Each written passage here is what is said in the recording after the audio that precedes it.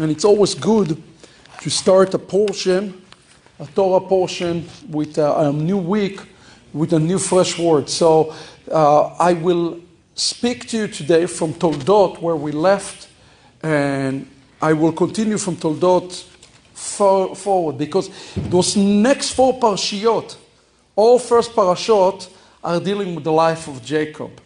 And how many of you have not been here uh, with me yesterday? Quite a few were not here yesterday, so that's okay. I am, I am going to try to summarize in a minute. And those who are interested to finding out more about us, first of all, I'll say we have some resources today available in the back for those who are interested, uh, especially our uh, 12 volumes on Genesis. But we are part of an organization called Ahavat Ammi. Avatami mean for the love of my people. It's an organization that is focused on restoration and reconciliation between Yeshua and the house of Israel. And it's happened to be that we've been talking about this exact topic yesterday, last night, and I'm continuing with this topic today. God is called us now to establish what I would call a redemptive roadmap for redemption, okay? For Geula. There is a roadmap that is being built. And if you look at the life of Jacob, you're going to notice the clear pattern, the clear pattern for roadmap. So those who are watching us online uh, right now, you're welcome. Hopefully you can catch the PowerPoint behind me. Um, please share, like it, do whatever you need. But I want you to uh, kind of make a note for yourself. We were in Parashat Toldot, we're going from the to, to Parashat Yetzeh, and then we're going to, to go to Ishlach, and then Vayeshev. All four portions deal with the life of Jacob quite extensively, okay? And they provide us through the life of Jacob a complete roadmap, a complete roadmap for the redemption of not just the house of Israel, but the redemption of the entire world. Okay? Tonight, what I want to do with you briefly, I want to touch on a few principles of establishing this roadmap together. It's important for us to understand through the life of Jacob where we are in the roadmap and how is it applied to us so we understand what we need to do in these last days. Just to recap, in Parashat Toldot, we, we begin the portion, Toldot again, the word Toldot means the birth, the conception, the baby being born, and who is being born. Jacob is being born, and Esau is being born. And I explained yesterday to you that this birth have to do with the birth pangs of the Mashiach. Okay? It is talking about the coming of the Messiah. Remember, it's called in the book of Isaiah, Chevleya Mashiach, the travails of the Messiah, the birth pangs of the Messiah. Right as a woman bear a child after nine months of, of carrying it, the same is true of the Messiah. And if we were to say where we're at right now, we're not in the first trimester, we're not in the second trimester, we're in the final of the final of the third trimester. We're on the ninth month right now. Now, in this process of being birthed and seeing the conflict that took place in the womb, we saw that Yaakov and Esau, they conflict already in the womb. And a matter of fact, just to remind you, the word that is used in Hebrew is the word vayitrotzetsu. The trotzetsu is the Hebrew word that comes from the Hebrew word ratzutz and the word ratz. They ran to each other like two, two bulls that run into each other and just just collapse. Okay, they're fighting. Now, when there is a conflict, as a reminder to you, there is a re- reason for the conflict. Anybody remember from yesterday what is the reason for the conflict between Esau and Yaakov? They're not even born yet. Yes, they're already in conflict. What is the purpose for the conflict? It's one thing and one thing only. Our rabbis explained to us that the reason for the conflict is the fact that they're fighting for the kingdom. Who is going to rule the kingdom? There are two kingdoms. There's a kingdom from above and a kingdom from below, and they are trying to fight for the inheritance of those kingdoms. Okay? Yeshua has told us that the kingdom of God is in uh, our his own hand. The centrality of the gospel here has to do with the kingdom. There is nothing more important than the kingdom of God. So when we are talking about something that is worthy to have a conflict over, it is the kingdom. Please understand the feud between Esau and Yaakov is a worthy feud to have. Now, I want to remind you that when there is a conflict, it means that something great is about to happen. Right? Yeshua told us in the book of Luke, chapter 12, I did not come to bring peace, I come to bring conflict. Wait, but he's called the Prince of Peace, Sar Shalom. If he's called the Sar Shalom, why is he bringing conflict to the world? Remember what I explained to you yesterday that conflict is essence is the catalyst a conflict for the sake of heaven right a conflict for the sake of heaven is a catalyst for the redemption remember that always when there is a conflict for the sake of heaven it means that the geula is at hand now, we learned yesterday that when we look at the Torah, we must uh, use the guiding principle that is given us by the, the, the Radak, Rabbi David Kimchi, who say, Maaseh Avot Siman Labanim. The work of the fathers is a sign for us today in the last days. In essence, you need to pay attention. The reason there is four parashot that deal with the life of Jacob, it's because there is so many signs for us in four parashot in the next three weeks that have to do with the signs of the last times for us. And it should be a comforting to you to know that you are not alone. You're not struggling with this thing alone. Jacob struggled with those same things. But we can learn from those things. We can learn where Jacob was successful, where he failed, and how he what he do and how he did this. In essence, what I'm telling you, if we truly want to see the gospel, we don't have to go to Matthew or John or Luke or even to Revelation. All what we have to do is to read Genesis 25 all the way to Genesis 33, and you will be able to see the full God plan of redemption. You will be able to see the conflict and you will be able to see the resolution of the conflict. So, again, when we look at the Torah, please understand we're looking back at the future. You remember the movie Back to the Future? That's what it is. You're looking back into the future because Torah has to do with prophecy. So, really, who is Esav? Who is Esav in this story? Who is Yaakov in this story? Well, we know who is Yaakov in the story. It should be very clear. Yaakov's name was changed to Israel. It cannot be any clearer than that. Who is Yaakov? Yaakov represents Israel. What about Esau? Who is Esau represent in the story? Today I'd like to get a little bit deeper with you. And we can start with what Abarbanel says, Rabbi Yitzchak Abarbanel. Now, today's lesson is going to be a tad different. So I need you to pay attention. He, say, he says, Rabbi Yitzchak Abarbanel, he said, the soul of Esau reincarnated in the Christian Yeshua. And that is why he was in the desert, a man of quarrel and strife. That's true. Yeshua says, I came to bring strife to the world. He's right. Oh, to the Pharisees and sages. And his name is like the name of Esau. And a matter of fact, when you take the name Esau and you look at the numerical value of the word Isav, you get two, two, two important words. You get the word Shalom, which means peace, very interesting, but you also get the value of the word Yeshua. Allow me to suggest to you today, as we're going through this, that Esav is a picture of Christianity as a whole. And a matter of fact, starting in the second temple destruction, okay, with the second, second destruction, when the rabbis start to look at the prophecies, especially in like the book of Daniel and other places, Esau's name was Edom. And Edom is a no, no. If you go to any Jew in the world, say, Who is Edom? They will tell you Edom is Christianity. It's a name, it's a code word for all of Christianity today.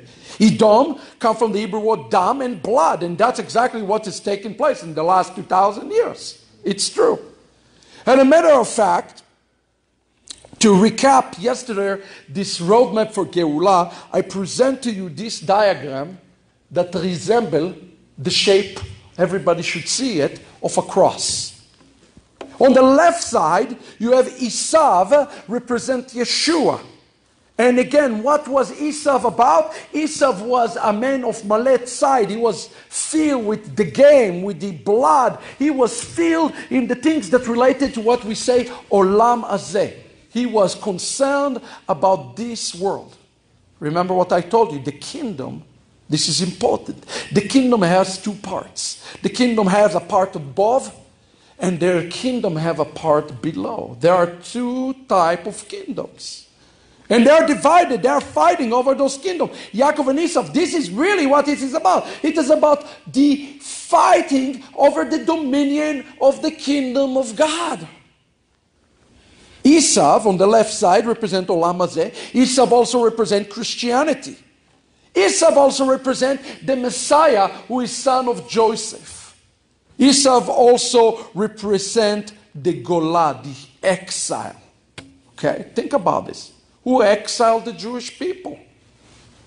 Who took the menorah? Think about those things. On the right side, we have the Olam Haba, the world to come. We see the other entity.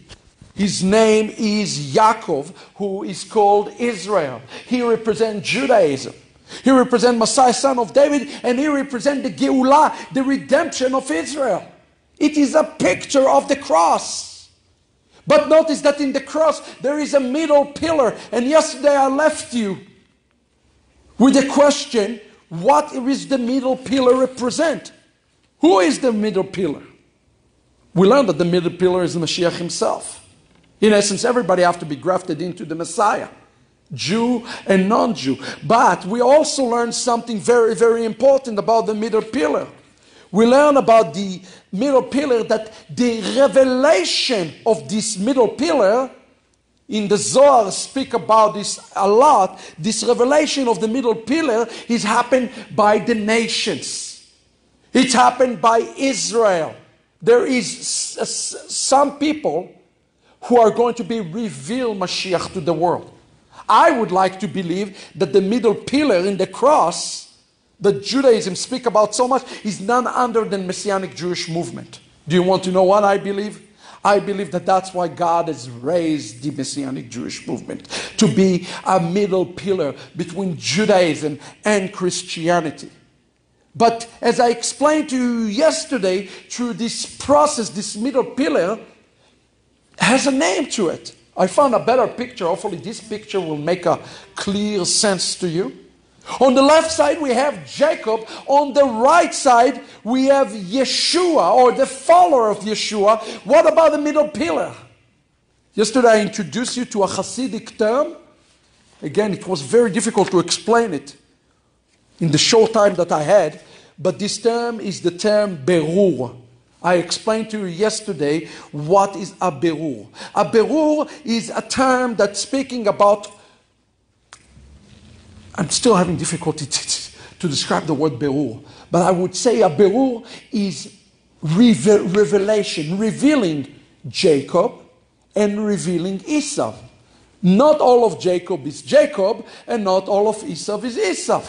It's in essence unmasking them. It's the Berurim represent the tikkun, the, the work that we do to prepare the ground for reconciliation. Okay? Before there could be a reconciliation between Yaakov and Esau, they have to do the mitzvot, we have to do the Torah. We have to prepare the ground, right? If you go to put seed in the ground, you cannot just throw seeds in the ground. You have to loosen the soil. In Hasidic thought this term of loosening the Torah soil is called the birur. Birur is literally mean clarification. Okay, who is really Yaakov? Okay, who is really Esau? What is the feud between them? Oh, the feud is on the kingdom. Let's talk about it for the sake of the kingdom. There is an historic There is truly an historic feud between Judaism and Christianity.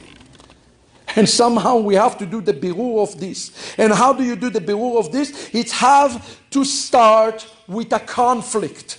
And that's why Genesis chapter 25, before we can talk about Geulah, has to start with a conflict. So today I was able to really sit and meditate upon what I was explaining yesterday, and I came up with a formula that looks like that. Hopefully, it will help you.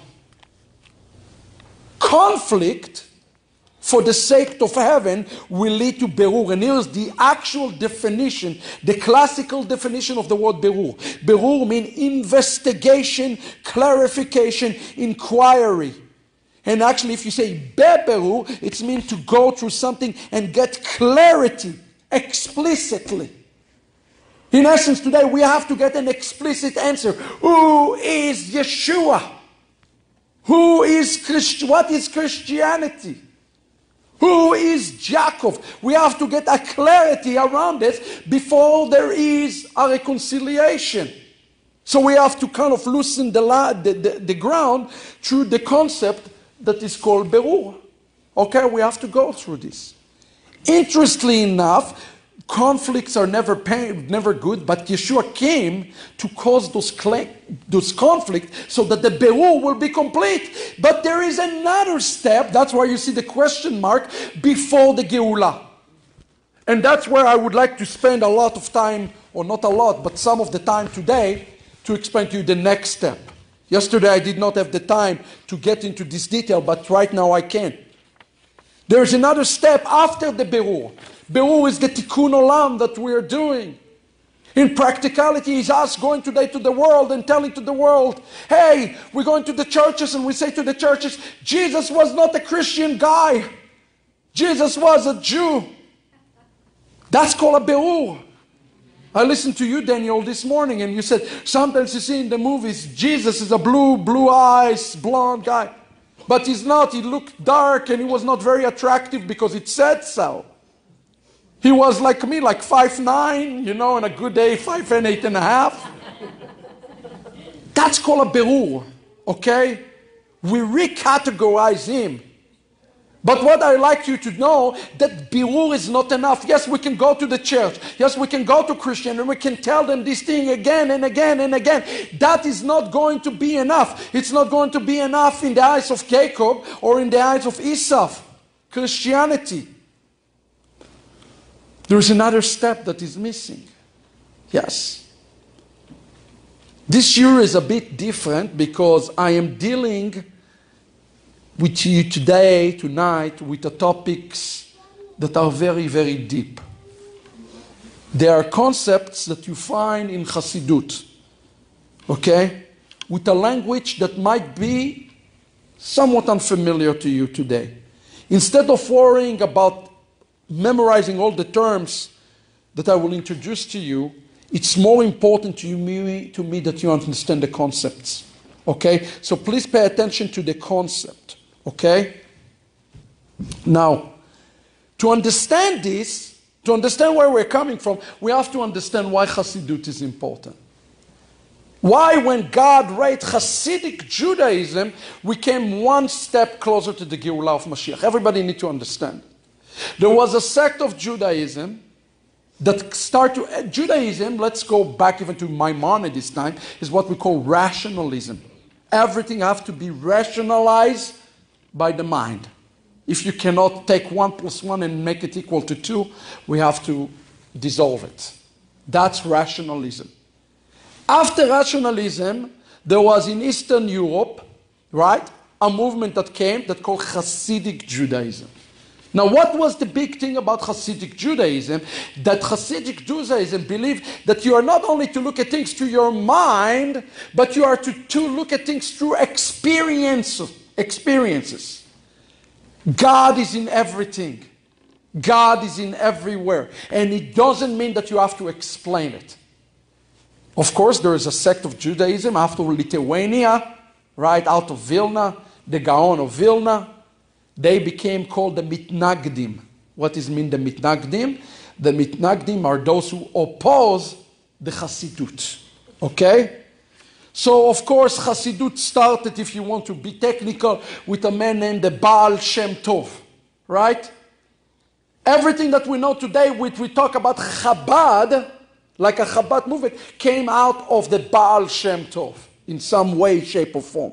Okay? Now, the question that we must ask ourselves is how do we gap rationalism with the supernatural? Okay? And that's the, the, the amazing thing about Judaism moving one step forward. Okay? The Hasidic Judaism surface, surfacing up, to mean that we're one step closer to the coming of the Messiah. Please understand this. Hasidic Judaism is the closest thing, in my opinion, for the truly the messianic experience, without a doubt. Okay? Now, what if God called the messianic movement to be part of this historic Berur. I want to challenge this for a moment and tell you that we are not the only pillar in the middle that taking part of this historic Berur. I believe this Berur is going to be part of it, is going to be, Chabad is going to be part of it. And I believe that this network that they build all over the world of Chabad houses is going to be used to serve the real Messiah. I know it sounds crazy, but I believe that in all my heart. God preparing this ground, and the Berur is happening from both sides. The Berur happened from Yaakov's side to Esav, and from Esav's side to Yaakov. The Berur have two parts to it. Okay? But please understand that the true nature of the Berur is the Berur of who is Esav. If you want to know the truth about the Berur, the true Berur is really to find out here the true identity of Esav. And in the essence, Parashat Toldot, if you kind of divide it, Parashat Toldot and Parashat Vayetze, right, which, which is happening this week, the focus is on the Berur. The first part of Yaakov's life, he is focused on the Berur and the Tikkun. He's doing Tikkun. Look at his life. Okay? He is pulling the light out of the darkness. He have to discern who is who. Okay? In Chassidut, it's called the gathering of the sparks. If you want to understand what Yaakov doing in the beginning of his life, he is gathering all the sparks. He's doing all the tikkunim to prepare to prepare for the next uh, uh, the next next um, a stage of Geulah that we're going to learn about today. Okay? Now, the tikkunim that he is doing are tikkunim in what's called the world below. Those are tikkunim in the world around us. Shmirat mitzvot, bringing people to the Torah. Expl- those are tikkunim that happen in the world below. Okay? But there is other set of tikkunim that have to happen in the world above. There are two sets of tikkunim that are happening. Okay? And the question that we must ask ourselves is simple. This is an important question to ask. Is our tikkunim in the world below? In essence, I am going to say, I am Shomer Mitzvot today. I am teaching Torah. I am doing Gmilut Chasadim. I'm building synagogues all over the world. Is these things are enough? Are those enough to bring to the ultimate tikkun, which is the return of the Mashiach? That's the ultimate tikkun. Is it enough? And the answer is no. I want you to understand this. We can hasten the Geulah. We can hasten it by tikkunim, but it is not enough. As a matter of fact, even Yeshua related to this gathering of the sparks, Matthew 23, he says, Oh, Jerusalem, Jerusalem, I long to gather your hand, gather your cheeks. But you are not willing. Your house will be left desolate until you say, Baruch haba b'shem Adonai. In essence, say, yes, yes, I want to gather you. I am doing the tikkunim from above, but if you don't do the tikkunim from below, nothing to happen. There's a co-dependent relationship on the tikkunim that needs to happen in heaven and the tikkunim that is happening here below. Okay? And in the first part of his life, and here's the thing you can do a tikkun all around you. But unless other people come and they do the tikkunim with you, It doesn't matter. A tikkun is a corporal activity. Now, how do we do those tikkunim? How do we prepare the world to this reconciliation? It's all going to happen only through this middle pillar. Like I explained to you yesterday, I showed you yesterday, only through the middle pillar, Dvar Torah. Okay? You and I are bringing people outside Edom to the middle pillar, which is the Mashiach. Okay? We can complete the Beru. Now, it's important to understand that this generation is a generation right now that I believe we are doing a historic Berur of who is Esav. Some of you are involved in ministry. That's what you're doing. You go to your Christian friends and say, You got Jesus all wrong. You got the wrong Jesus. Right? Great that you're doing that, but let me give you a newsflash. That's not going to bring Mashiach to the world. You can go to every church in the world and tell them to the Berur and say, No, you got to wrong. It is still not going to be enough. There has to be a conflict. It's a conflict for the sake of heaven. Okay? When Yeshua says in, the, in Luke 12, when he says, I came to bring division, he says, hasten the Berur. That's in essence what he's saying, which is the next task. He's speaking a language, Jew, and he says, hasten the Berur, because the Berur will bring the world one step closer to the Geulah. Now, the middle pillar in my opinion, is responsible for the reconciliation, okay? It's truly we are responsible for the reconciliation that will take place after the Berur in the Geulah. I would like to speak to you about this painful process. This is what we call the birth pangs. It's a painful process of Berur, and what's going to follow it? What is next? Where we need to be next? And here, as I'm going to shock you, how many of you believe that we are in the stage of birur, of investigating who is Mashiach? Judaism, Hasidic Judaism, would flat out disagree with you. Judaism says the stage of birur is over.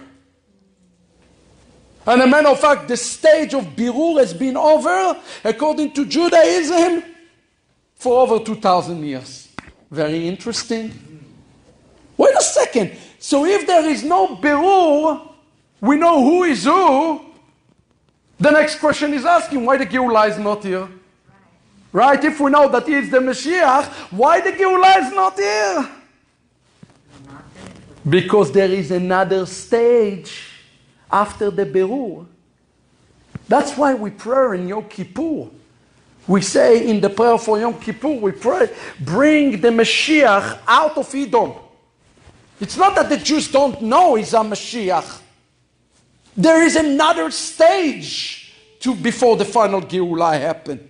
And that's where I think we need to focus all of our attention on. See, each side, Yaakov and Esau represent, both represent an aspect of the Geulah. And only through the Berur and what's happening after this. And here's what's coming after it. I'm going to explain this to you now. But think about the Nachash, right? Something you're all very, very familiar with. Nachash. Nachash in Gematria is equivalent to Mashiach a serpent, which is the klipa, which represents something so unholy something that may represent the Mashiach. Why? Why is it so, so, so significant? Because, you see, only when Nachash can really shed his skin, the shedding of the skin, he can be revealed for truly what he is. You can know something is something that you think it is, but unless it's he, he the berur uh, uh, shed the, the, the, and reveal him in the right light, it's still not going to lead you to the right conclusion. You know, you can say, "Ah, yeah, I know Yeshua." I had a funny thing happen to me. I was last, uh, I think, ten days ago. I was in the Vatican, and I was stunned. And the guy turned to me in the Vatican, started speaking to me in Hebrew. And he says, We love the Jewish brothers. I said, That's wonderful. And he says, Yeah, Jesus was a Jew. We love our elder brothers. And I said, You know, Peter was a Jew too. And he go, Don't go so fast. You know, there is a difference between knowing something and willing to accept it and acting upon the birur. It's like, you know, think about the birur. You know, a birur is when you go to trial and you get the ruling from the court. Now there is a step of execution. And the final step of the Geula is not the verdict, but it is the execution of the verdict. Are you hearing what I'm telling you? And our rabbi said, No, the verdict, we know, we knew for a long time. We're in another level right now. We are in the level that's called the execution of the verdict. There's a Hasidic word for that, very nice Hasidic term for this. But I'm trying to explain it to you in a way you understand very deep concepts today. But if the berur, let me get back to our berur for a second, which is like a verdict. If the berur is that we do is inappropriate, and the snake will not shed his skin properly, he cannot be revealed as the Mashiach. I don't want to diminish the berur Hasidic Judaism said the Berur is over. I am not quite sure the Berur is completely over quite yet. Okay? We need the authentic Berur to take place. But that's not where it's, where it's ending. Please understand this. Now, it is important to understand something about the Birur of Isav. This is something you need to understand. Some of you open your eyes really big when I say Isav is a picture of, the, of Christianity. It is. And he says, Esav, I hated. Wow, what's that mean, you know? Please understand something. Again, today is a, is a lesson in Hasidic Judaism. It is important to understand one thing about Esav. Despite his wickedness, he, he has a critical role for Yaakov becoming the man that he needs to be in building this highway. In essence, Yaakov cannot fulfill his role without the opposition of Esau. Please understand that. He needs Esau. He needs Esau. Okay? Adversity in your life, you know what adversity? That's word Satan, Hasatan. Those adversity in your life are there for a purpose to make you who you need to be to overcome those things. Of the wicked serve an important purpose here. And I tell you what the purpose. Yaakov is going to build a highway of Geulah. He's going to build a highway for all human race, for all humanity, for the Geulah and the reconciliation. Why? Because Esau represents the nations Yaakov represents Israel. You want to know where the story ends? The world is being reconciled. The book of Zephaniah says, In that day, all the world will speak one language. It will be Hebrew. Sorry, it's not going to be speaking in tongues, it's going to be Hebrew. the term Esav, who is known in the scripture as Edom, starting the second temple by rabbinical literature refer exclusively to Christianity. And at the same time, although he is the greatest foe, the greatest enemy of Yaakov, here it is. Are you ready? In the future, Acharit Yamim, he is going to be the greatest partner of Yaakov. I'm going to show it to you. He is going to be the closest friend and the closest partner of Jacob. The fact that we are living in a generation today where Goyim encourage Jews to study Torah. Amen. In a generation where Gentiles support the land of Israel. It is nothing short of a beginning of the fulfillment of the Birur. You want to know where we are right now prophetically? We are in the process of the fulfillment of the Berur, which is exciting time. These things we talk about are being fulfilled in front of our eyes. Now we need to understand something about the nature, this nature of the Berur. This is very, very important for us to understand it. The Berur is not just the Berur for Esau, but is a warning to Yaakov. Look what it says in the book of Psalms, chapter 80. It says, Why have you broken down its fences? What is the word broken down? It's the Hebrew word poretz. In the Hebrew text is the word poretz is one of the names of the Messiah. There is a connection between the Messiah, I want you to look at this, between the Mashiach to an animal that is called a pig. I wrote the book, The Return of the Kosher Pig, but you're going to see it clearly here in a second. It's asking the question, why have you broken down the fences so all who pass by will pick its fruit? A chazir, a pig from the forest, now ravages it. Whatever moves in the field feeds on it. Now, how many of you think that the pig here is a good thing? It's not a very good thing. It's not talking about a regular pig. The reason it's talking about a pig in the forest because it is a wild pig, a very deadly wild, wild pig. Look what it says in Pirkei Avot, Ethics of the Father, the Rabbi Nathan, on this verse. They explain who is the pig? The kingdom of Rome, Christianity, Malchut Romi. Here you go. The pig from the forest, this is the kingdom of Rome. When Israel does not fulfill their calling, and I'm paraphrasing it, okay? I didn't translate word for word, I give you a paraphrasing. When Israel does not fulfill their calling, the nation are like a pig from the forest, wild, who destroyed the, ne- the nefashot, the souls of the Israel. When Israel fulfilled their calling, the pig cannot harm them. What I'm trying to tell you, Esau has a role. And maybe, just maybe, we can understand why God has brought the pogrom, why God brought the Inquisition, why God brought six million souls to lose their lives. Maybe, just maybe, the Jewish people were not doing what they were supposed to do. And that's why they were consumed in the Holocaust. Let me tell you something. Most of the Jewish people during the Holocaust wanted to be part of their own society that is completely separate from Judaism.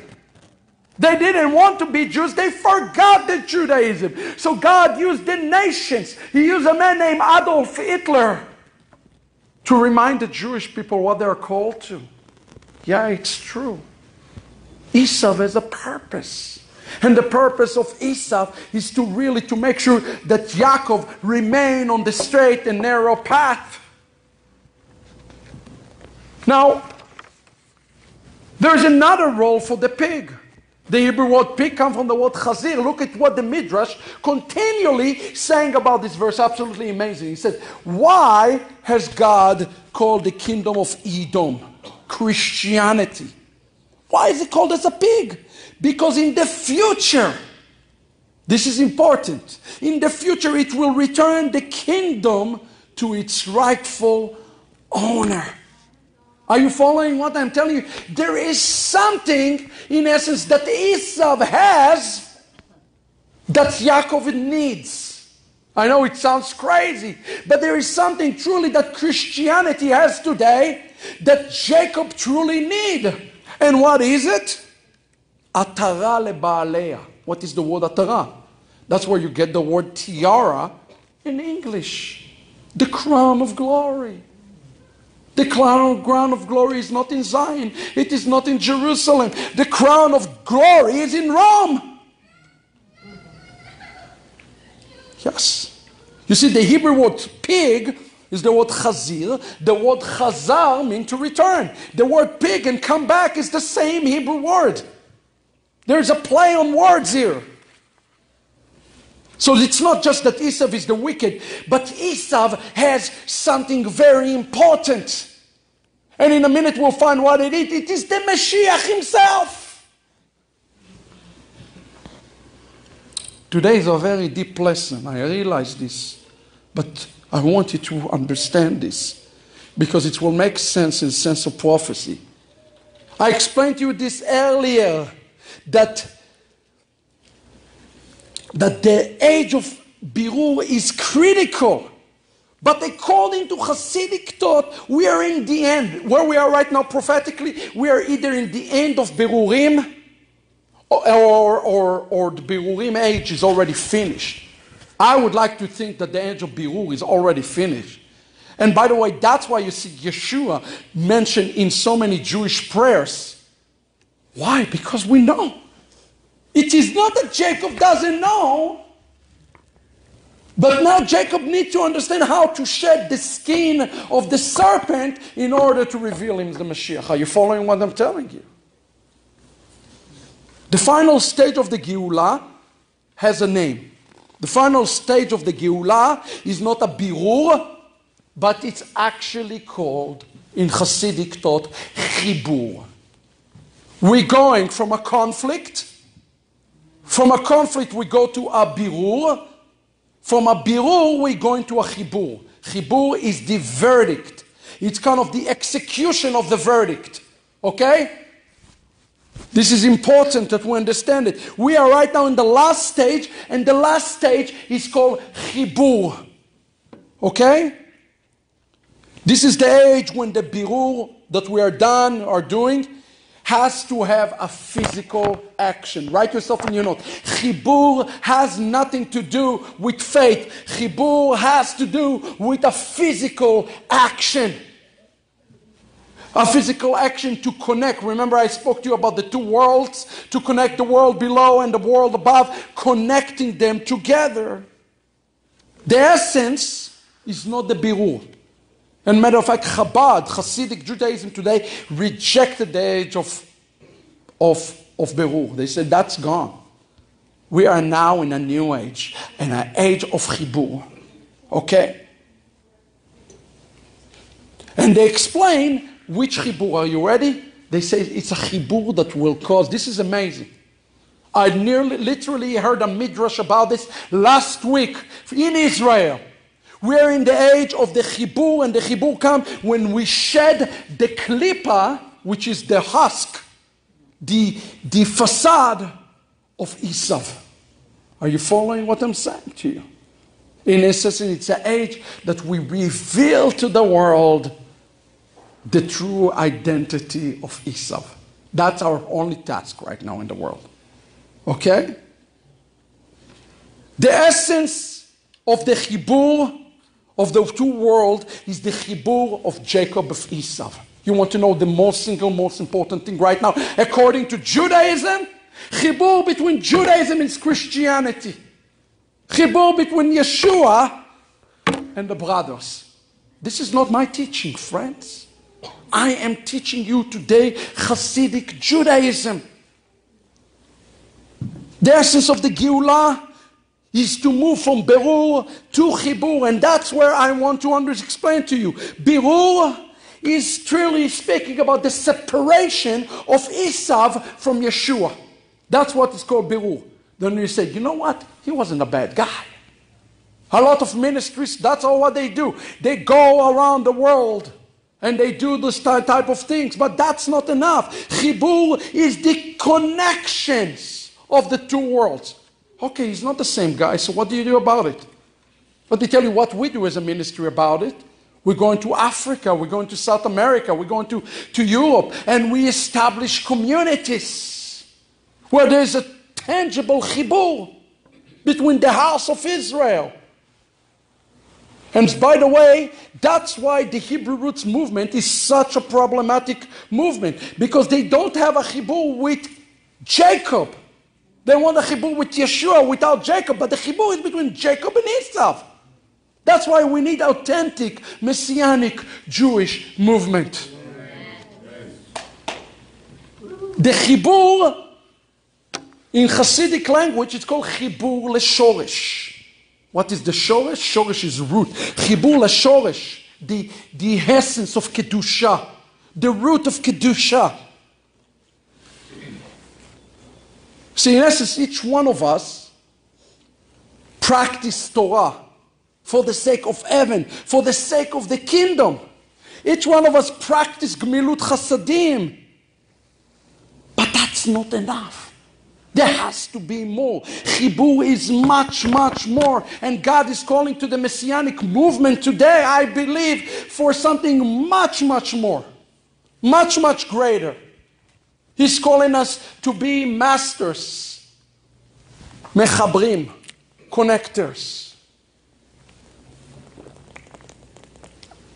Between Yaakov and between Esau. Who are we? We must to be a little bit of Yaakov and we must be a little bit of Esau if we are to connect them. It's true. Not so easy, is it? See, our job is not today. This is a mistake. People just want to separate darkness from light, show right and wrong. But that is not enough when we talk about the Mashiach. We must unify the Mashiach again. We have to connect the Mashiach himself to a master chibur. And only through the collective power of the house of Israel we can redeem his name. Let me say it clearly. According to Hasidut, the Redeemer is not the Messiah. You are the Redeemer of the Mashiach. How can it be? Well, the psalmist say it like this. Psalm 55, 19, he says, He redeems me from the battle against me. It is as though many are on my side. What did he mean, the psalmist, when he says, There are ki berabim ayuimdi? What does it mean? Hasidic thoughts come and explain to us exactly what it means. It means that when people pray together, they redeem each other. We redeem each other. Each one of us, you have a redemptive power through him. The entire concept of a chibur is a concept that says that God is empowering you today to connect the worlds. What is a connector? That's a Messiah. One who connects is a Messiah. God is giving each and every one of us a redemptive power today to connect those two together. You don't have to wait for Mashiach. Mashiach is in you. Mashiach lived through you. Each one of us must practice Torah for one purpose. Berabim ayu imdi. So that you will bring a redemptive power to somebody else. You want to know the essence of the Torah? That is the essence of the Torah. Through your prayers, through your mitzvot, through your gmilut chasadim, you bring redemption to others. And that's how we get from the gula, gola, which is exile, we get to the geula, to the redemption. Notice that it's exactly the same Hebrew word, gola, geula, the only difference between those two words is the letter Aleph, which is God, which means that when you do your part to bring redemption, God will partner with you and He will do they will bring His part in the redemption. Redemption is not one direction. The redemption has two directions. God is bringing a redemption, and you're bringing redemption, and we meet together. And now we are in a time that God is calling us to unite to bring this, this redemption to the world. Now, the aspect of Birur is again, is critical. But the next step of the Geula, that's what we call show me the money. I call it show me the money stage. When we do the work to, to do the chibur, is is more critical. There are things that are more critical than our theology. There are things that are more important to discuss every time. Why is it that nobody's speaking about those terms? But when I put a video talking about the rapture, I get like a million likes. Where is people minds? Who cares? The body of Messiah just want to talk about those type of things. That's a berur. That's a berur. This is a children game. We need to grow up. We need to get now to the chibur stage. We're in much higher madrega, much higher level.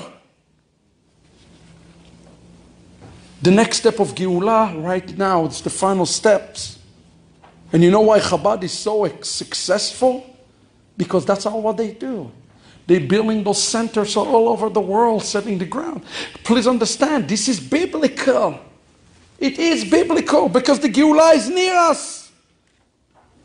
The question today what we must ask ourselves is how do we do the chibur? If the chibur is the last step before the geula, how do we do it? What is required of us? Look with me at the book of Proverbs. It's provide us the answer for this. Okay? In essence, the question we need to ask, what do we need to do to bring chibur to the world? Look at what it says. It says, יפוצו מעיונותיי חוצה ברחובות פלגי מים. Proverbs 5, 16, one of the most wonderful messianic verses, which translated, your spring will gush forth in streams in the public squares. First of all, we need to understand what the rabbis teach about this. They say, when the water Listen to this interpretation, incredible. When the water will go outwards to an unexpected place, outwards.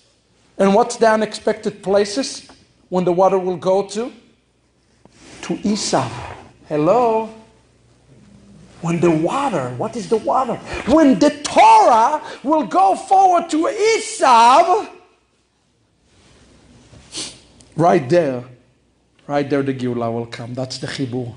All right? Let me say to you in a simple language. When Jews will start inviting the Goyim to come and learn Torah, and the Goyim will learn the Torah, uh, right there, the Chibur with Esav will be complete. You following what I'm telling you here? There is a story about the Baal Shem Tov. And in this story, the Baal Shem Tov go from world to world to world to world to meet Mashiach. Finally, get to the last world and he's meeting Mashiach. Then he asking the Mashiach, when will you come? The Mashiach answered to him, quoting this verse, and he said, When you do this, I will surely come. This is the final, this is a real chibur. In essence, the coming of the Mashiach depending upon our people to come to bring the people to the middle pillar. Okay? A matter of fact, look what the Malbim says on this. There are two words that are mentioned in this text. Right? He said, You will bring the springs. Springs, water represent the Torah. You are to bring them outside. Barechovot. It's mentioned outside and it's mentioned the streets. Now, why there is a redundancy? Why did the Torah mention outsides, chutza, and why it's mentioned the rechovot? There is a difference. Look at what the Malbim says on this. Very, very interested. I took the liberty of translating it to you. I paraphrase. The Malbim says, there is a difference between taking waters outside and taking the water to the streets. The outside, look at that, represent the back of the homes. There is nobody there except those who live there. The street, on the other hand, is a place that is wide where many people are found. The street represent the Jewish people. The Jewish people need to teach Torah to other Jews. But you know what? The Jewish people calling in the world is to take the Torah to the world achutza. And only when we take the Torah achutza, outside the family, outside the house, then the Geula will come. Are you hearing what I'm telling you? There are two aspects here. Achutza and to the street. The street is to the house of Israel. Achutza is to Esav. The middle pillar have to be care about Esav learning. Because that's the only way Esav will be able to reconcile. The word achutza or chutza here, chutz. Matter of fact, if you say I live in chutz la'aretz, if you say in Hebrew, I live in chutz la'aretz, I'm living abroad. That's literally what it means. Chutza, chutza. See, said the word have to spread outside of it. And think about the word of Yeshua when he say, you will be my witnesses. First in the house, in Judea, in Samaria, and then to the rest of the world. Here you go. Word for word, the word of Yeshua. What is chutza? What is the place that the hardest to bring kedusha to, holiness to? Our sages explain that the hardest place to bring the kedusha to is to Esav. Does it make sense to you? How many of you try to go to your Christian friends and tell them about Torah? You know that this is the hardest place, but that's what he said. That is the key to the return of the Mashiach. Yeah, it's a place that is lonely and cold. It's not the house of Israel. Yeah, do we, the Jews need to teach Jews Torah? Yes. But that's not the only job of the Jews. Did you notice how many Jewish people start to teach Gentiles right now about the seven mitzvot Bnei Noach? It's growing all over the world. But my question, why stop there? Let's teach them more and more. Baruch Hashem, every Jew that teach Torah to a non-Jew. It's a great mitzvah. But you know, Chazal continue, Hasidut explain that there is another place that is, when he's talking about, when he's talking about, I don't know if I can go backwards. Okay. There is another explanation for the chutza and the rechovot. And they explained that what chutza represents something else. I want you to think about it. The hardest place to bring kedusha to. Chutza represent the human mind. And they said the hardest thing for us to overcome, to go outside, is the human mind. Because the human mind always wants to put a limitation upon us. But Hasidut, that's why Hasidut is so important. Hasidut is not about logic. It's not logistical, it's about the power of God. That's what we call the power of the Holy Spirit. It's something that can transcend times, it can transcend, transcend space, all of those things. And Chazal said, when you go outwards, do not limit yourself by your mind. This is important. You understand? Judaism is all about logic, logistics, logical. Chassidut is in the supernatural. Since the mind always question everything, to bring Kedusha to this place is the hardest. And I tell you something just on a personal one, uh, front. If you want to think things outside in your own life, in your own ministry, do not question the God and do not work with this mind as the center for your decision. Work in a higher level. Sometimes God tells you to do things that your mind will tell you not to do. Listen to God.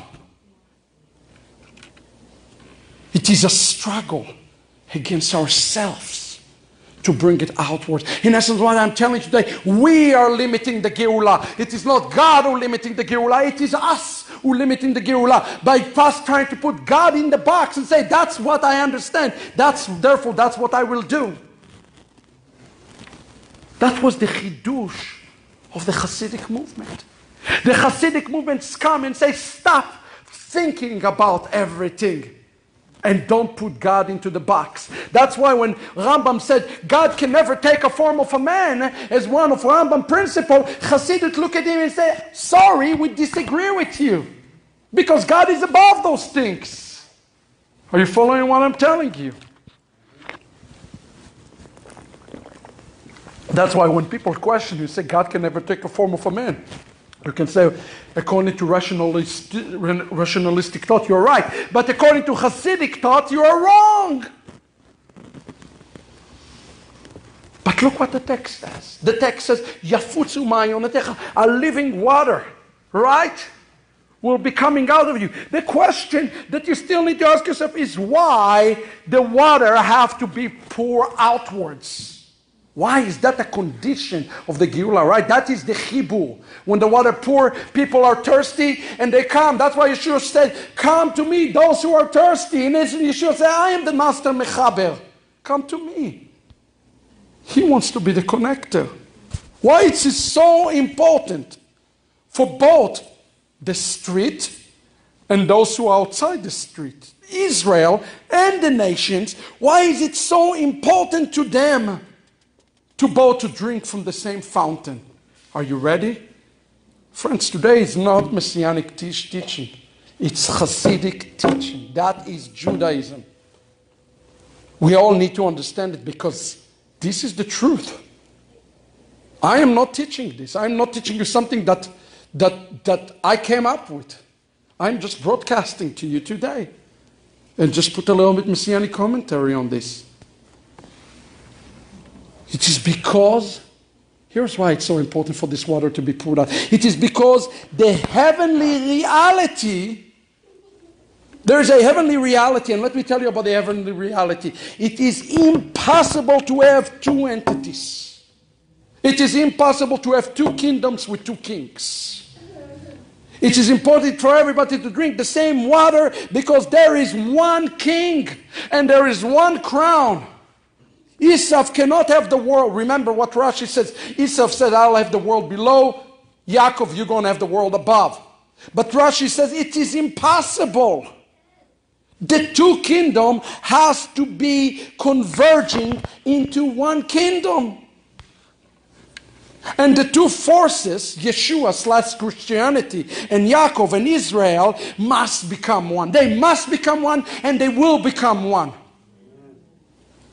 This is God's plan. This is not my plan, it's God's plan. To get us all into the same, even level playing field. In the future, this plan will be completed through the Chibur. And that's why we have Messianic Judaism today in the world. Israel is a metaphor in the text. Pay attention, this is amazing. Israel is a metaphor in the text to the sun. And what about the nations? What are they metaphor for? They are metaphor for the moon. Israel called the sun, the nations called the moon. This is important. Look at what God is promising us in the book of Isaiah, chapter 30, in the last days. He says, Ve'aya ora levana. This is God's plan. Ve'aya ora levana.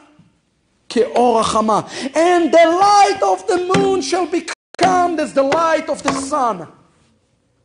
Do you know that this moon and the sun will be the exact same size?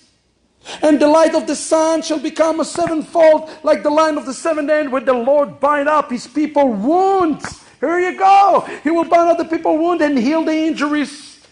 It is suffered.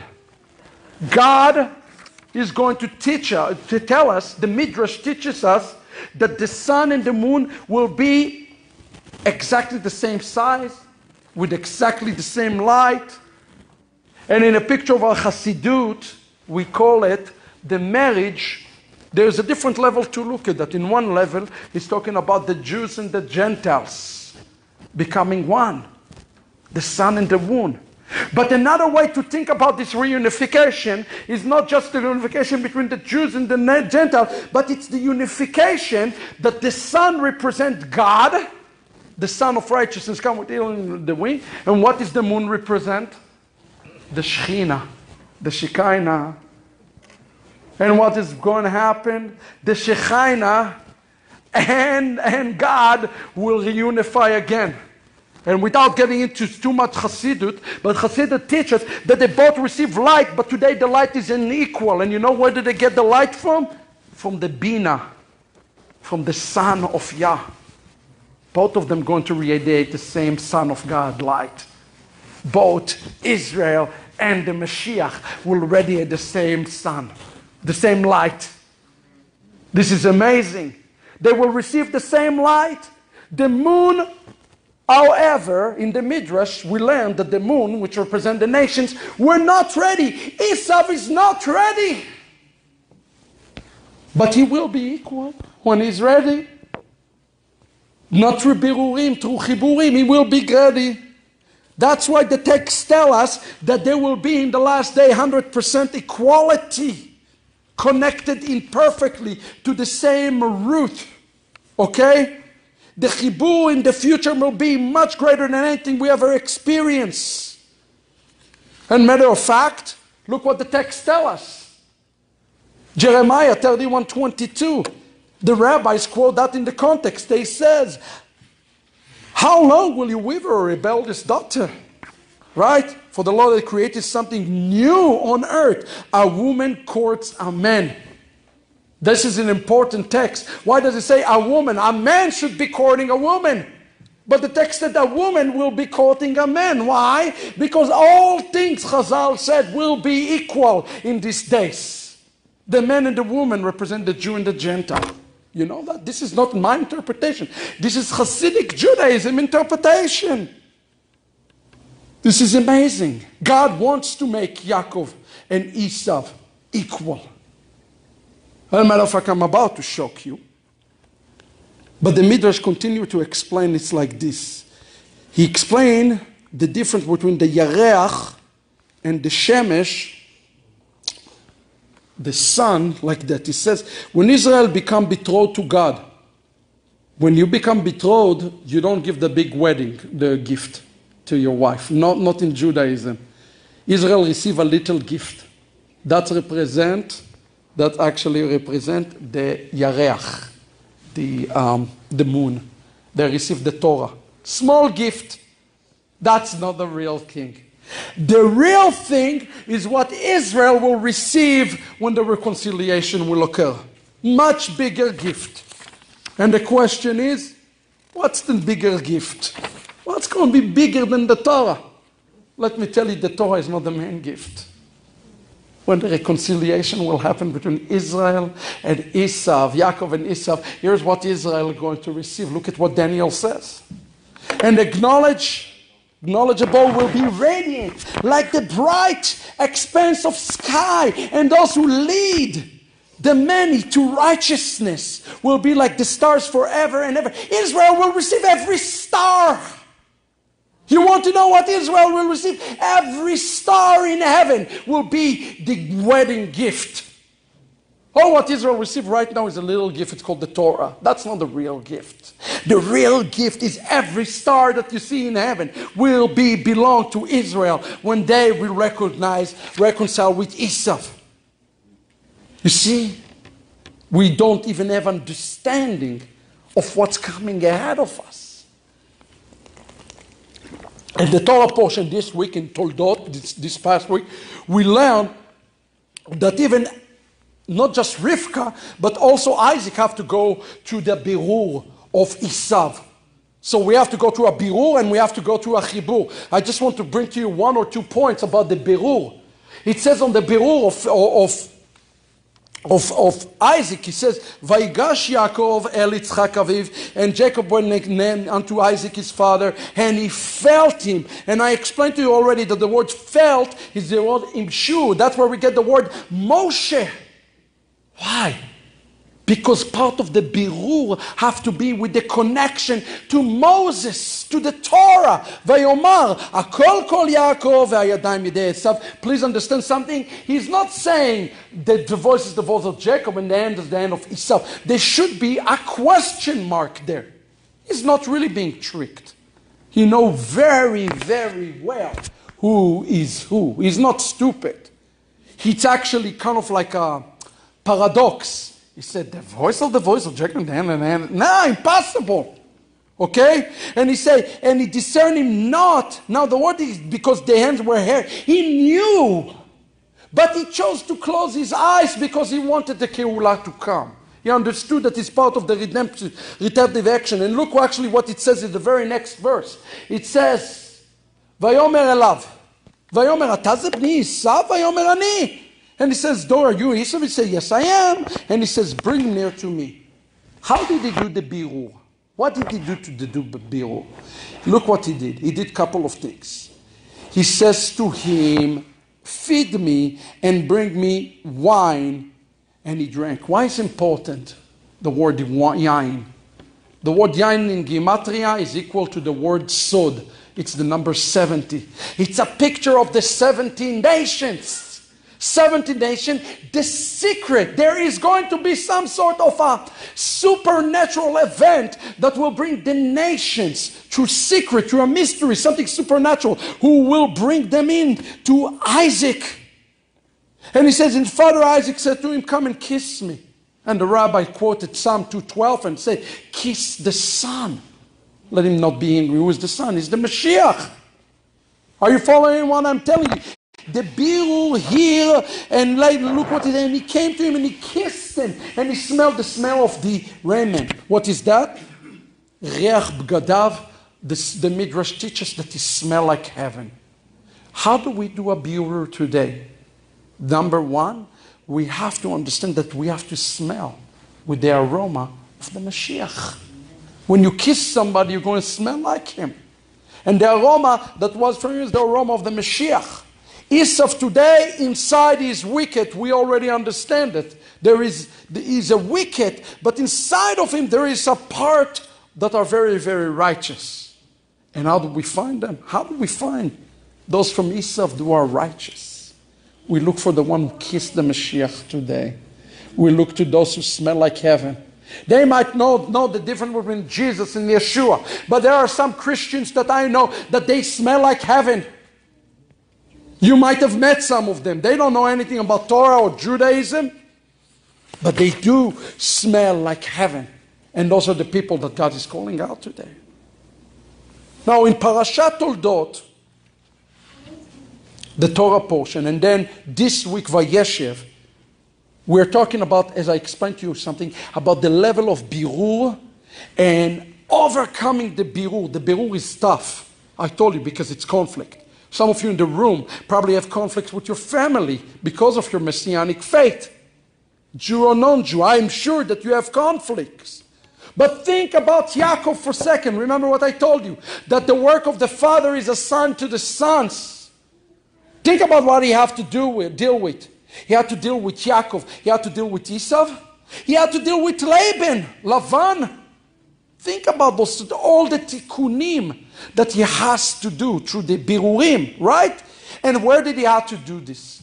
He didn't do it in the land of Canaan. He had to leave. Let me tell you something. When you do a birur, you always have to go to a lower ground. Please understand that. When you real do a real biru, you go into a lower ground. He had to leave a place called Beersheba, where he went. The avodah of birur, it's what we call in Hebrew, mesirut nefesh. Mesirut nefesh is really dedicating your life, giving your life for a tikkun. And and, and, and Yaakov spent most of his life in Mesirut Nefesh outside of the land. Don't despise it. Don't despise it if God send you to a lower places. He send you to a lower places because He's setting the ground. Now, then, I want you to pay attention what's happened the next stage. After Birur, remember Chibur.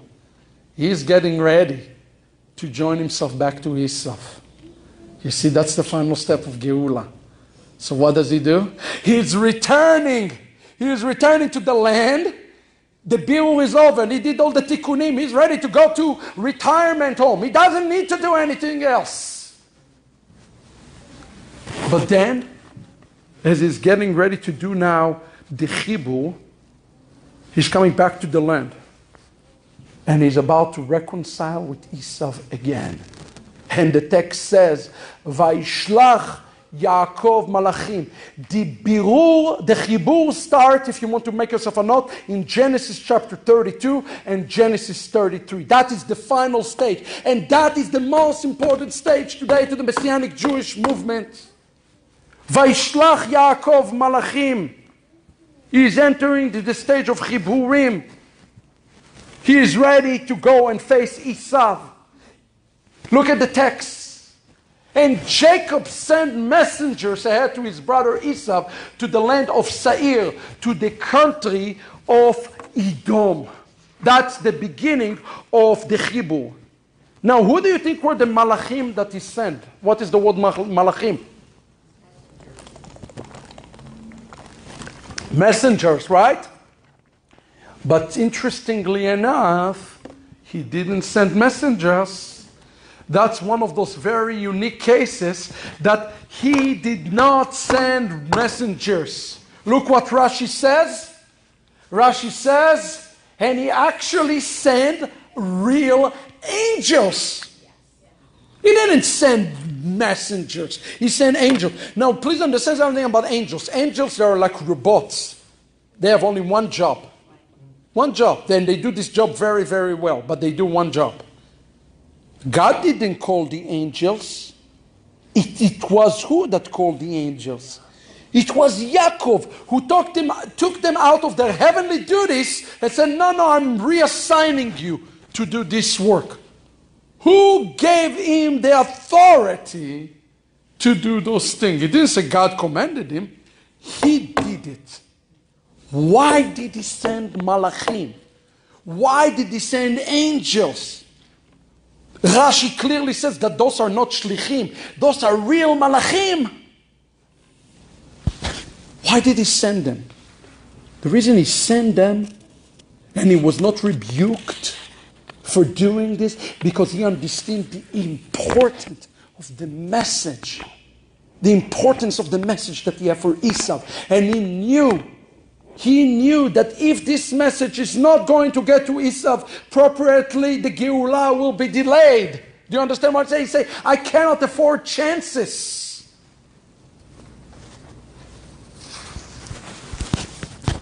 He knew that the tikkun with Esau will not be possible, by the way. He knew that. He knew that. But I want to explain to you now the most important point of this entire midrash, perhaps. There are two shorashim, there are two roots here. One Shorash is the Shorash of Yaakov. Okay? Yaakov is what's called, there are different worlds. Okay? Yaakov works in what's called the Olam Tikkun. In essence, all the life of Yaakov is a struggle, right? It's a struggle, struggle, struggle. He's going through here. He's dealing with Laban, then he's dealing, he's dealing, he's, he's dealing with Esau. He's going in his metaken. There are things around him that are broken, and he's just fixing and fixing and fixing them, okay? That's called Olam Tikkun. Now, Esav is not from the Olam Tikkun. He's from another world. His shorish, his roots.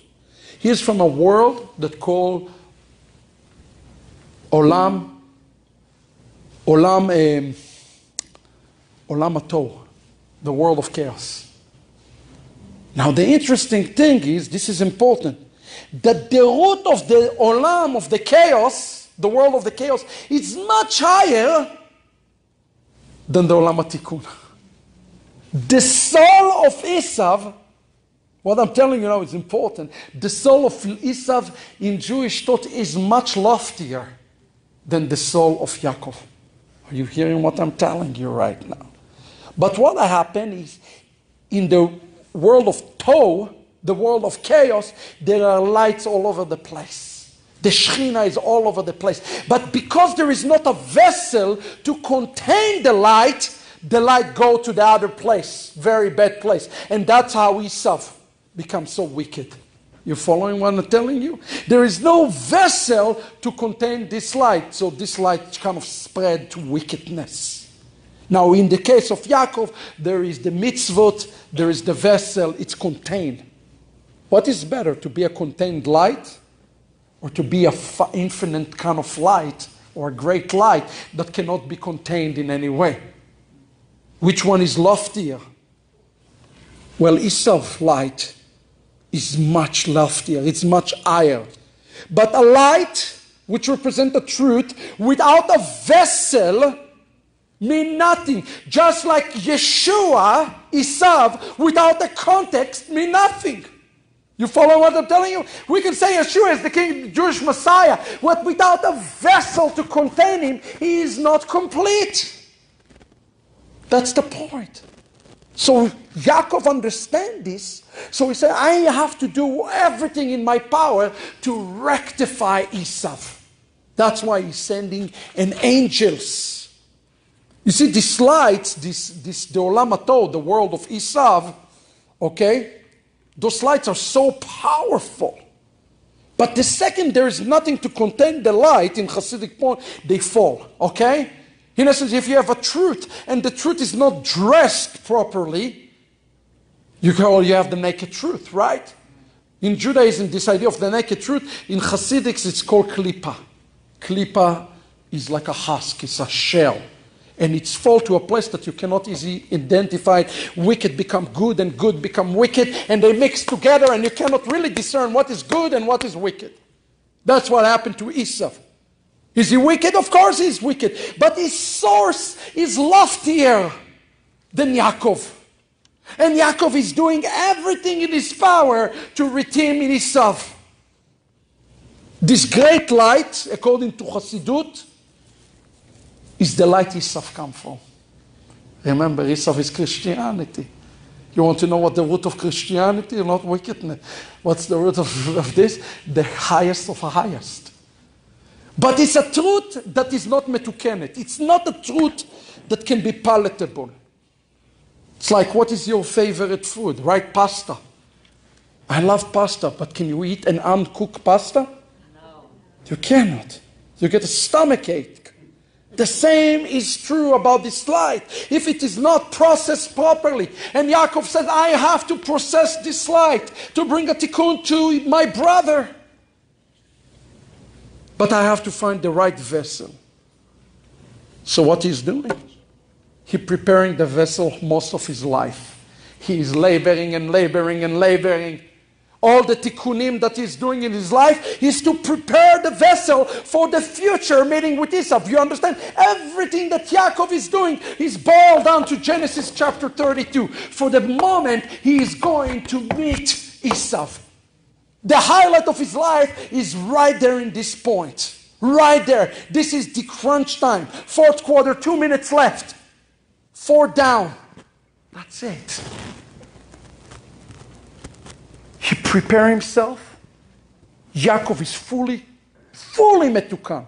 Yaakov light is metukan. He is perfectly metukan. And now he says, now I have a message to Esav. Listen to me.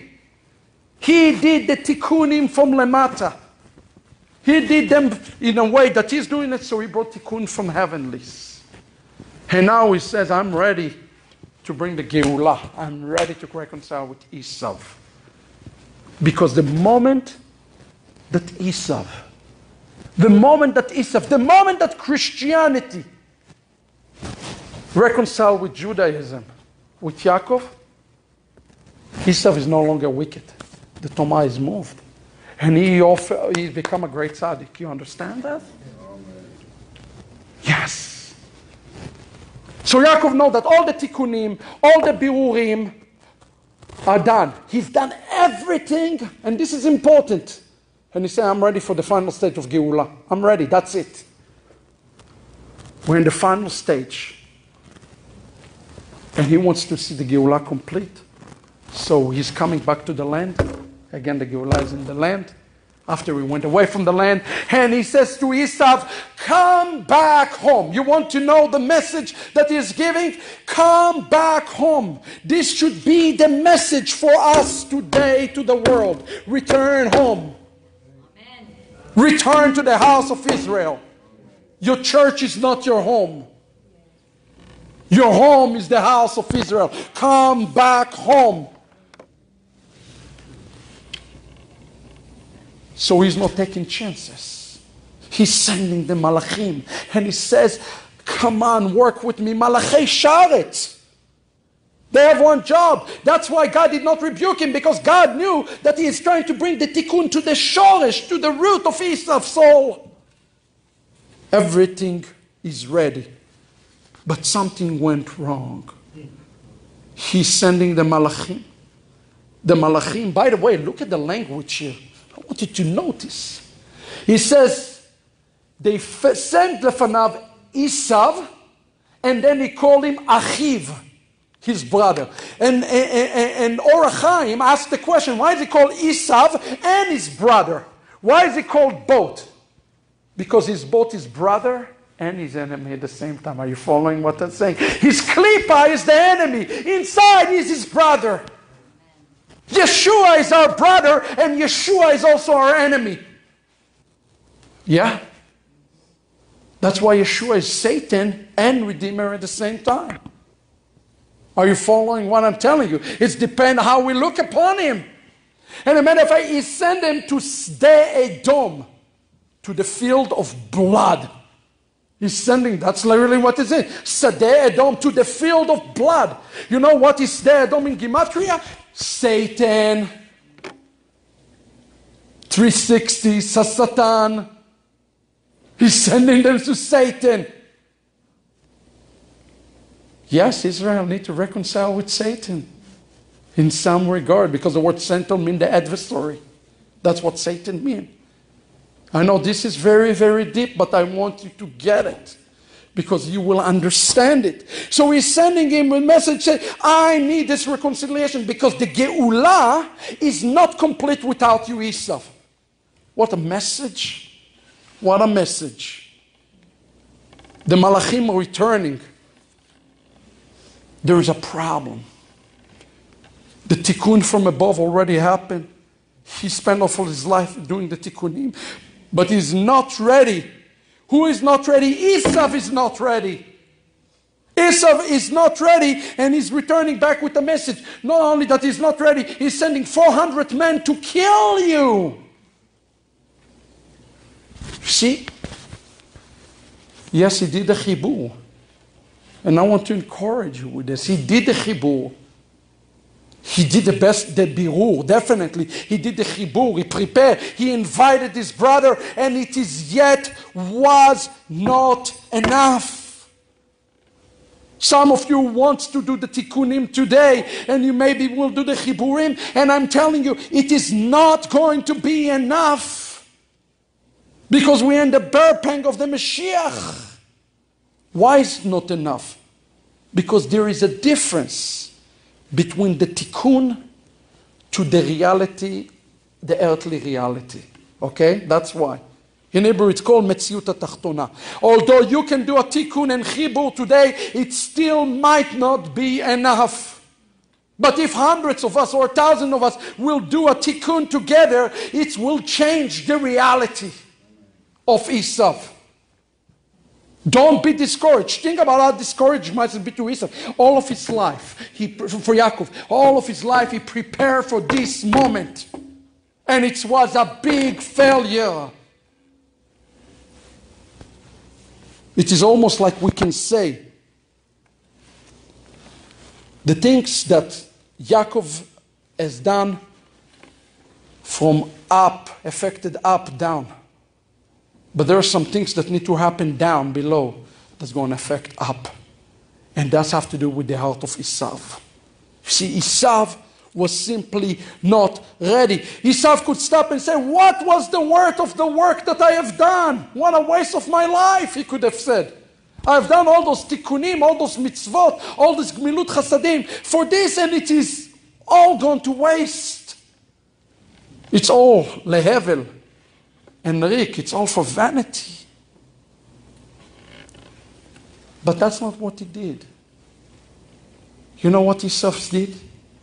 I mean, what Yaakov did, excuse me? He says, I understand that I cannot have a Geulah with, with Esau. I cannot have the complete Geulah. So I will continue to do the Tikkunim.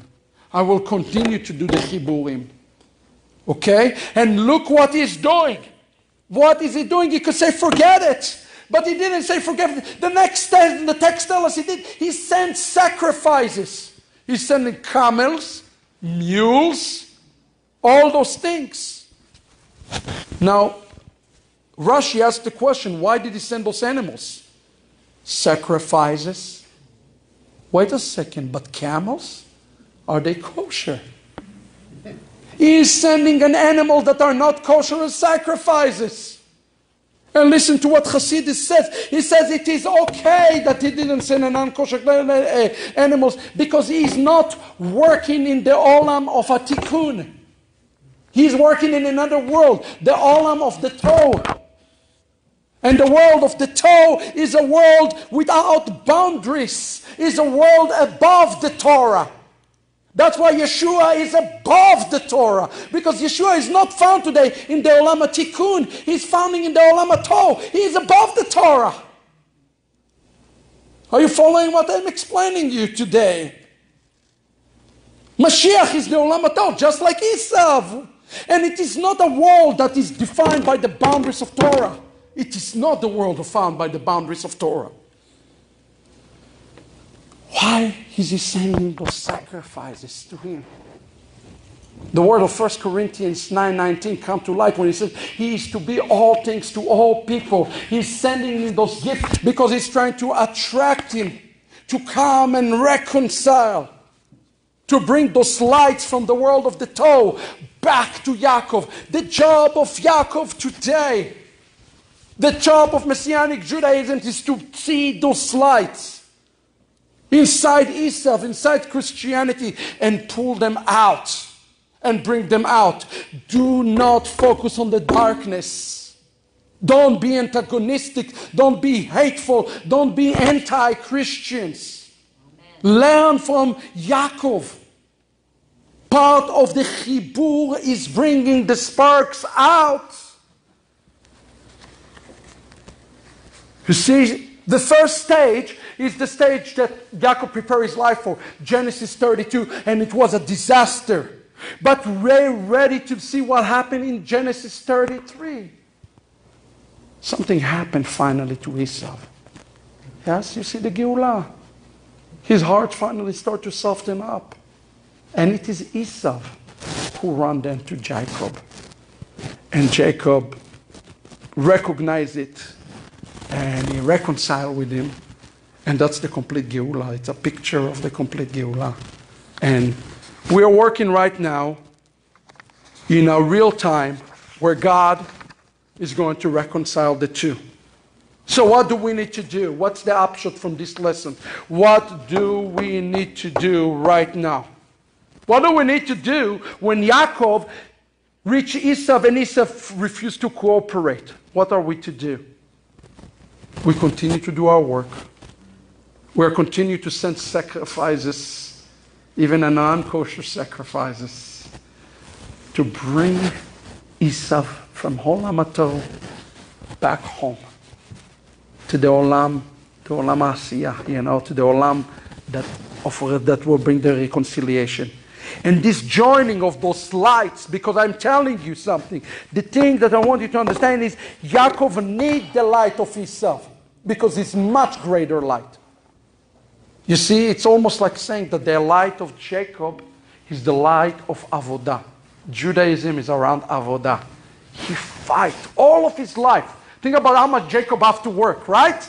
To he have to work to earn his bride, then he have to work again. Think about how much work he have to do. It's all Avodah. Judaism is based on these struggles and Avodot. But the other lights, it's the light of the Spirit of God. It's light from above. And today this light is found with Esau. The spirit is found with Esau. That's why Jacob needs this reconciliation. And this reconciliation can come only through the chibur of these two. So we must today to make sure that our water go forward, go out to the world to places that you cannot imagine. Don't.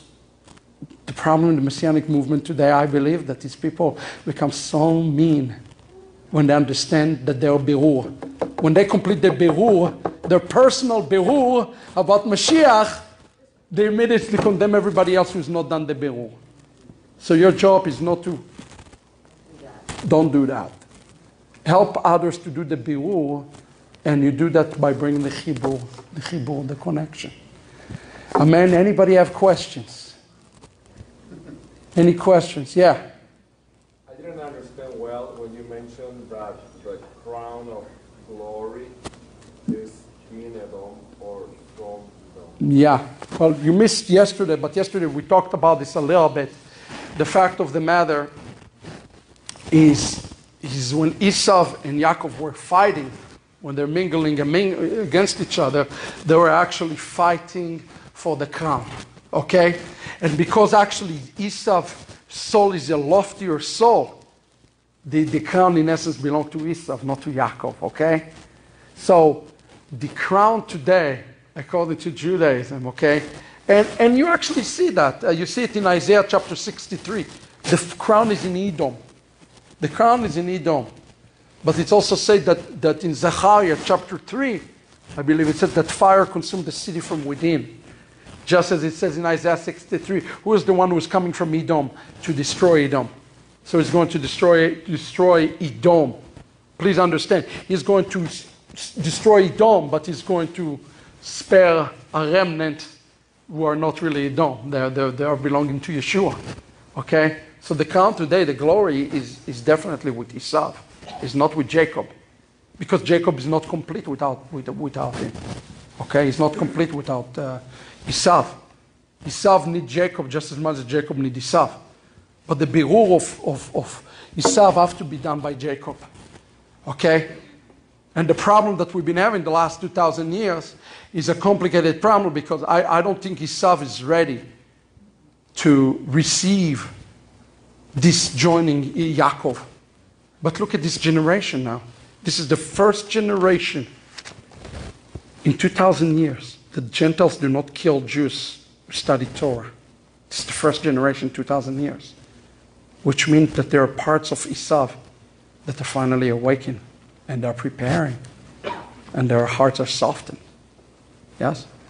And a matter of fact, we all in the room represent Esau in some level if we're a follower of Yeshua. Esau is Yeshua at the end of the day. Yes. Any other question? Yes. What does it really mean when you say about the non-kosher animals? How would that mean for us, or what would it mean for us today?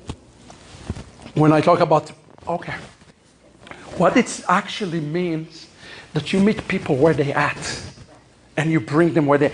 He understood that. You see, Esau operated in another paradigm. He was a man. He says you're there outside. You know, he was a world. He was in the world. So that's what he understood. So what Yaakov did, he met him in the home turf that he know, and that's how he brought the light out of Esau. So what does it mean to you is that you go to your friends and your family and you don't beat them outside the head. You're meeting them where they are at, and that's how you bring them out of Edom. All right? You don't bring them out of Edom with condemnation. You even notice here in the text that Yaakov not once condemned himself. There's not even a hint of that. On the contrary, he's desperate for the reconciliation. I answer your question? Yeah, yeah, Vora. This would mean then when our families are still celebrating Christmas and Easter, that we don't need to condemn them? No, we don't. We're, if we're together, we can still honor what they're doing by, and Yeah. just being silent. Yeah, yeah. Loving them. Yeah, look, look, look it's, it, it, it's, it's more than that. It's, it's more than just this. Don't, don't get caught up on the Christmas or this. It's, it's more than that. It's the idea that your job today is not to be in the BU. Get out of this business. Get out of the business of Biur. Judaism know exactly where is the Mashiach. Judaism know where he is at. It's known for 2,000 years. Get out of the Biur. Get into the business right now of the Chibur. And do whatever you need to do to, to join people. You know, to join people. And look what it is. Abraham did a, the master Chibur. Look how many people he brought to his tent. Yaakov did the same thing. Isaac did the same thing. It said so. That was the greatness of the fathers. So that's where should be our focus. Not on this argument. I mean, just open Facebook and look how negative everybody against everything. That is not bringing a chibur, right? That's, that's the point of the matter. Uh, and this chibur is an historic chibur. There's going to be a conflict in this chibur, okay? But I tell you, the chibur will, will, will take place. It- is already taking place. Look at Israel, all those centers of Orthodox Jews that teaching Torah to go in. I mean, it's, it's phenomenal, okay? Um, You know recently that Rabbi Ginsburgh Mm-hmm. called for the, for Yaakov to start teaching Torah. there you go. That's Yeah. like huge. Right, Right, but, but you have to understand something. That is because Chassidut, what we learned today when the shiur of Chassidut, that this is the principle of Chassidut. Reconciliation is not inside the house of Jacob. The reconciliation between Jacob and Esau. Judaism Christianity. Now, I think where, where Hasidic uh, Judaism misses the point, we reconcile those two so that Esau really will return back to Israel, Yeshua. They just want to make them all Jews. That's the difference. But I think uh, I have a different take on this, you know. But I think we're very, very close. Yeah. Yeah. Yeah. Two questions. Okay. What's Hasidu mean? Hasidut. Hasidut is a sect. Remember when I talked about Hasidut? Hasidut is a sect of Judaism that raised up, let's say, truly in the 18th century, that really have to deal with the anti-rationalism. Rationalism, rationalistic Judaism is truly about the mind. Hasidut is really the idea that God is in everything and everywhere, and you have to reveal Him to the world. You have to, to reveal, to reveal His light and Son in everything, and that's what Hasidut is about. Okay, it's about the idea that you are partnering with God rather than the. Think about the relationship between. I remember I talk about the sun and the moon, right? The sun is being much bigger than the moon. For the sun and the moon, according to Hasidut, represent you and God. You are equal partner. You are equal. You are, you are truly a partner with God. You are in the same level. Okay? When you said it was out of town, you said Hebrew. I'm sorry? The word out of town in Hebrew. Out? Oh, chutz. Chutz. Out of the country, out of the world. Chutz. Chutza. Yeah, and that's the word that appears in Proverbs chapter 5 when it says really to take the word outside, outside the boundaries. And the boundaries is the house of Israel, right? And I think the Messianic Jewish world really need to figure it out pretty quickly. If we don't, will become really bringing the words outwardly, we're to miss a big, we're to miss the bus. hmm Okay, hold on. Then, What percentage of Jews worldwide are Hasidim, and how does the rest of Judaism look at the Hasidim? well, look, Chabad is the fastest growing uh, sect of Judaism. That's all what you need to know. And, and I'll tell you why it is. Because the message of the Hasidut, of like Chabad to the world, is a message that says, hey, you can do something today. You can be a partaker in the Geulah. You, you can partner with God. And that, that is a message for a Jew that, that, that the Jew wants to hear. We, we want to see the Geulah. We want to hasten the Geulah, you know. So I would say Hasidut, you know, obviously there's a lot to reject all Hasidic thought, but to me Hasidut is messianic, the messianic faith. It's simple. Yeah? I have not even had a chance to talk about it, but all those concepts we talked about, you see in the New Testament, also clearly. Also clearly. So, Hasidut in essence saying that you can do something today, even if it's of rejecting you, you can still do something to prepare the ground. So, of recognizing Yeshua, they're the closest aspect or sect of and I wouldn't want to say that they're not recognizing Yeshua.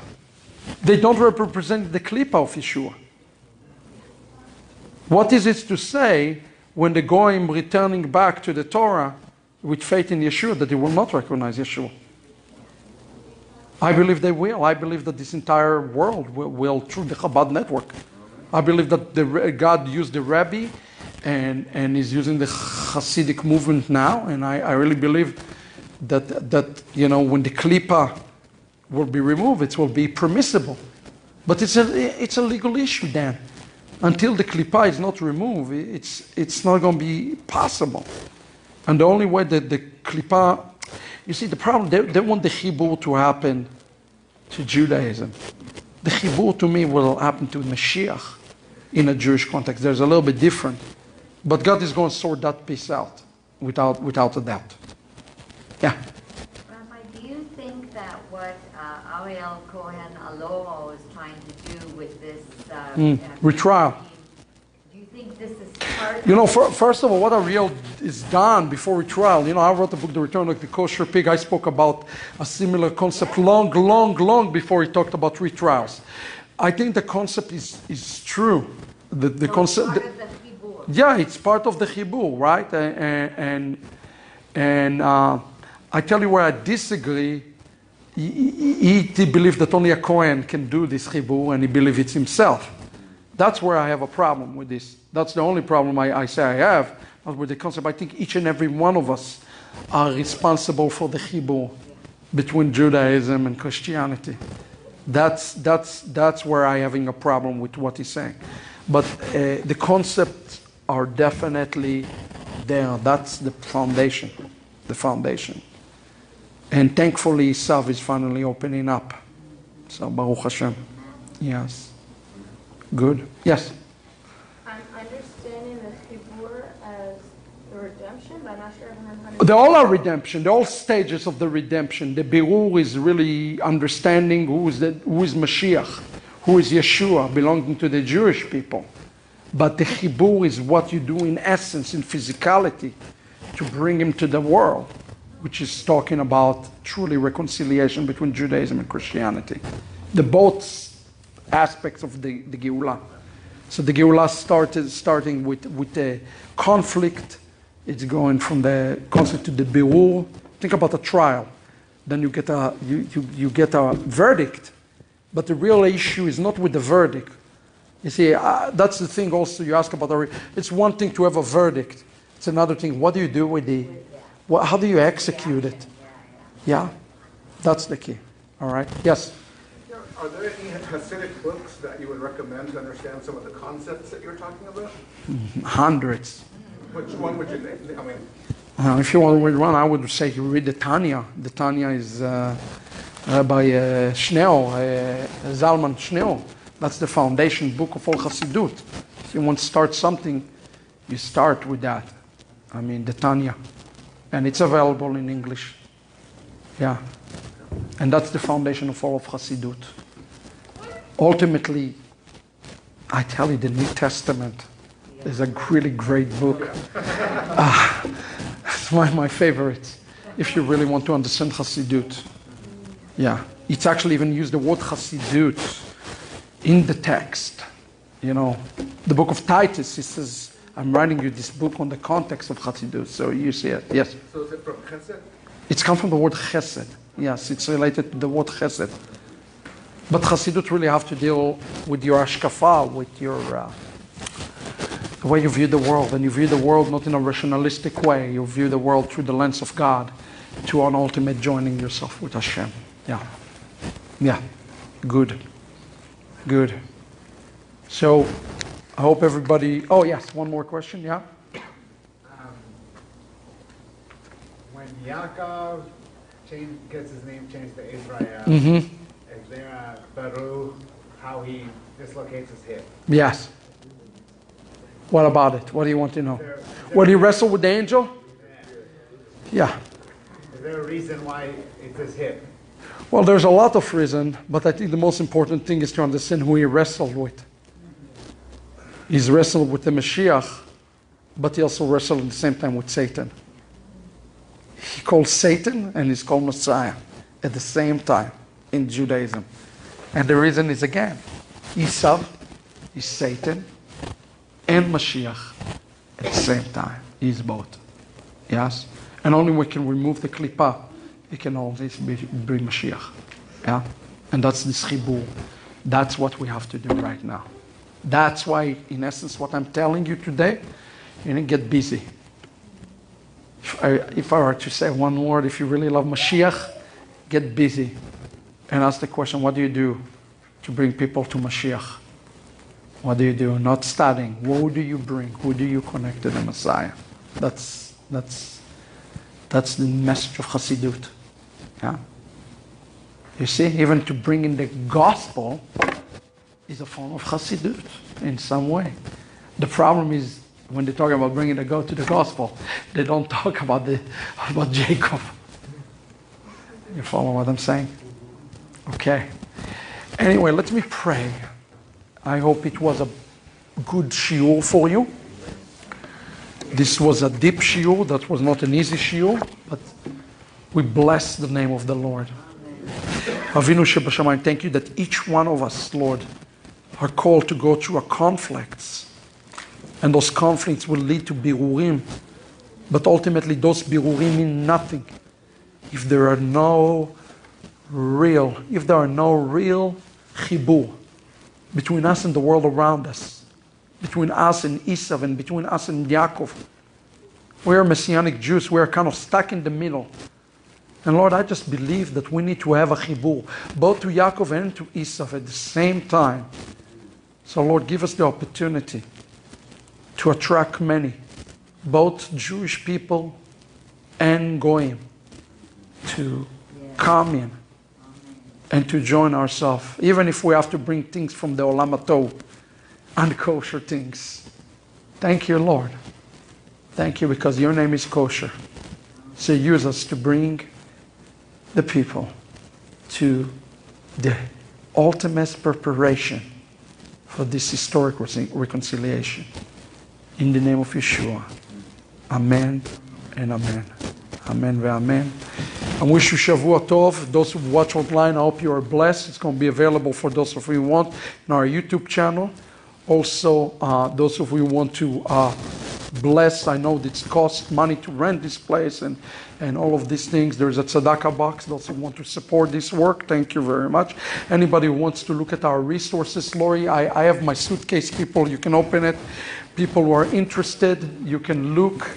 Um, we bless you with Shavua Tov, and we hope it was a fruitful time for you. God bless you. Thank you.